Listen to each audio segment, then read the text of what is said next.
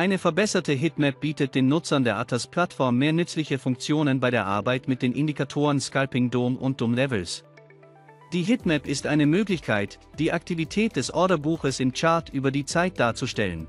Je heller die Farbe des Levels auf dem Preis ist, desto größer ist die Anzahl der Limit Orders, die auf diesem Level platziert wurden. Hier sehen Sie zum Beispiel einen Chart der Bitcoin Futures von der Binance Futures Exchange. Dem Chart wurde ein Scalping-Dom-Indikator mit einer Hitmap hinzugefügt, die zeigt, dass wahrscheinlich ein großer Käufer auf dem Markt aktiv ist. Die Volumen sind durchweg auf dem besten Beat-Level, es wird verkauft, aber der Preis fällt nicht, wir können also davon ausgehen, dass der Käufer aggressiv ist und den Preis selbstbewusst nach oben treibt, um den lokalen Widerstand zu brechen.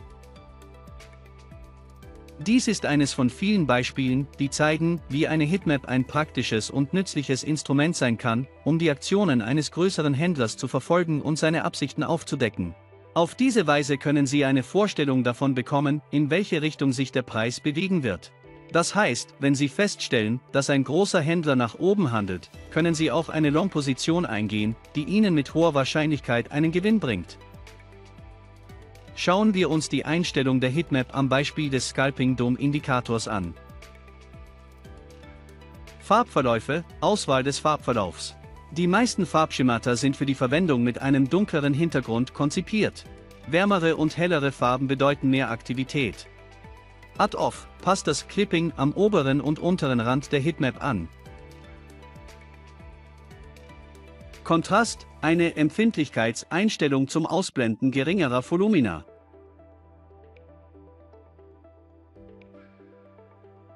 Smoothing, Einstellung für die Glättung.